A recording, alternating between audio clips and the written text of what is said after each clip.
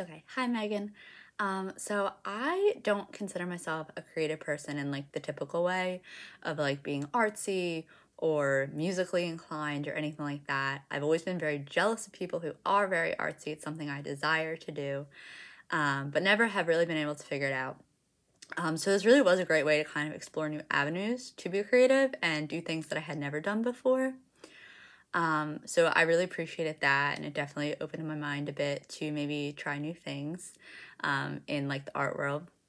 And then I definitely think creativity is important in occupational therapy uh, beyond arts and crafts because you have to be creative in the sense of like if a patient you know, if you try one therapeutic idea or activity and it doesn't work, you might have to like think on your feet and come up with something else. Or you have to constantly be able to meet patients where they are and what their needs are and what their abilities are. And every patient is going to be different. So, in order to make your treatment client centered, you have to be creative and constantly be thinking of ways even if it's the same idea, ways to alter them, ways to adjust them, adapt, modify, things like that. So I think all those aspects of occupational therapy take a lot of creativity.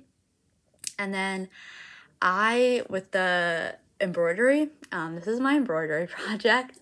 It was definitely a rough start. I had a hard time figuring out how to like thread the needle. I was like YouTubing it.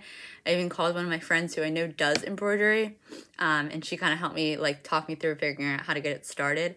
Um, and it was really nice because it gave us a way to connect like on our friendship and like a different level a little bit that we never had because I don't usually do embroidery.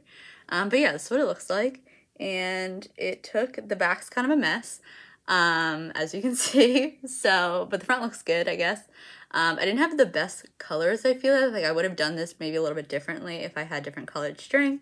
But overall, I liked it. Um, these were like the same stitches, like just, uh, I forget what it's called, but like front and back. And then this is like a knotted stitch. So I tried two different ones overall went well. I did think it was relaxing because you could kind of sit there once you got it and just kind of. I think I watched like a movie while I was doing it, and that was really nice. Um, and then I made a wooden planter out of Jenga blocks. Um, so I love nature and flowers and succulents. Um, so I thought making a planter would be fun. And then I was trying to figure out how exactly I wanted to do it. And I found this um, image online on Pinterest of using Jenga blocks, and then I kind of made it my own and made it this way. Um, but yeah, I used Jenga blocks and I would stain them, and then I glued them together and made this, and I actually really like it. I think it's perfect size. I'll probably keep in my room. Um, I'll probably plant like a succulent in here, but you also could store like I know a lot of people, a lot of my classmates like like crystals and things like that. You could put those in here, um, something like that. So I did really like it, and I did it really because it kind of met what I enjoyed doing. And also, I think there's something to be said about building something and doing like hands on and creating something like that. And I think that that kind of inspired me to like just having an end product and working towards something that I wanted to see made. Um, and I think others could relate to that too. So that kind of inspired this. Um, and then something I learned from this assignment um, was to be open to new, like creative mediums that you've never tried. Because when we got this embroidery embroidery assignment and making a basket out of something, I instantly like panicked a little bit because I, like I said, I don't think I'm artistically creative. And I thought this is going to be so hard for me and definitely really challenging and take forever and not be that enjoyable.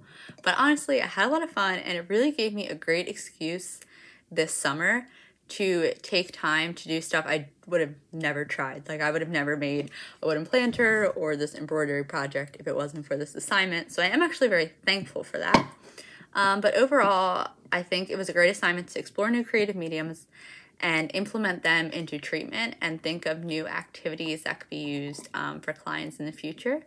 Um, and it also taught me things that I didn't know how to do. Like I don't know how to embroider, but I think it's very possible that I could have a client in the future who that's something they like to do. And if that's a way I can help them meet their occupational goals, um, because I have a little bit more knowledge now, that'll be amazing. So overall, I really liked it, and thank you so much.